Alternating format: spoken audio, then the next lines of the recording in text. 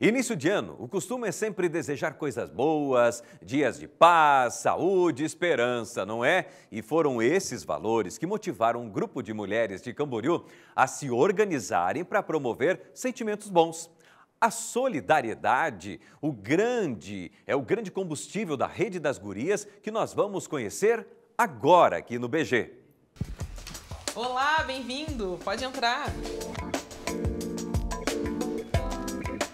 Quando a gente chega numa cidade, nem sempre se tem referências é, e nem sempre se conhece todo mundo. Ainda mais quando vem assim, é, de supetão, né? Logo se apaixona e decide ficar. Juliana, foi teu caso? Sim, eu vim pra, na verdade, visitar um irmão meu e só para viajar. Eu venho com as minhas duas filhas é, de início e uma mala de roupa. E daí eu decidi que eu nunca mais ia embora. Não conhecia nada.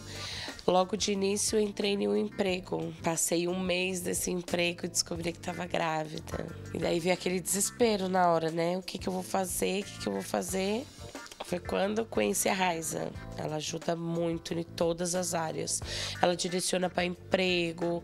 Ai, mas eu não tenho um currículo. Se tu der mil problemas, ela vai te dar mil e uma solução. Que ela é feita de solução. É, isso de arrumar currículo, inclusive a Thalita pode falar melhor, é né, Thalita? Como é que foi o teu caso? É, o meu currículo era um currículo já ultrapassado e precisando trabalhar, ela falou, não, vou, vou te encaminhar para um trabalho. Eu falei, mas o meu currículo não, não é um currículo bacana. Falou, não, a gente resolve. Por eu ser nova na cidade, não ter família aqui, não conhecer ninguém, é, quando eu conheci a Raiza, foi assim, uh, foi uma sensação gostosa, porque a gente não se sente, não tem liberdade com pessoas estranhas. Na verdade, ela me fez me sentir assim. O projeto Rede das Gurias surgiu em novembro de 2021. Cerca de 400 famílias já foram ajudadas desde então. A grande responsável por criar essa corrente do bem é a Raiza, que desde pequena estava envolvida em causas sociais. Para mim é muito emocionante porque a gente não não faz nada querendo algo em troca. É uma coisa que eu, eu realmente acho que é uma necessidade que que todos deveriam fazer, se pudesse. Porque, para mim, no meu mundo, na minha visão de mundo, todo mundo deveria ter pelo menos o básico para viver bem. Então, quando elas me contam coisas que, que, eu fiz, que elas acham que foi tão grandioso, na verdade, por dentro, para mim, eu penso, nossa, mal sabem elas o bem que elas estão me fazendo. Quem recebe ajuda retribui como pode, seja na limpeza da sede ou na organização e encaminhamentos das doações.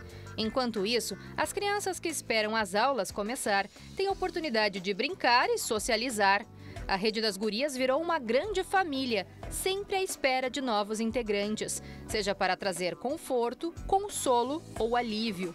Um projeto que resgata o bem-estar familiar, trazendo qualidade de vida aos envolvidos. Raiz, então você já tem inclusive planos para o futuro? Sim, nós queremos criar uma cooperativa para que a gente consiga unir útil ao agradável. Nós precisamos ajudar pessoas e precisamos ser ajudados.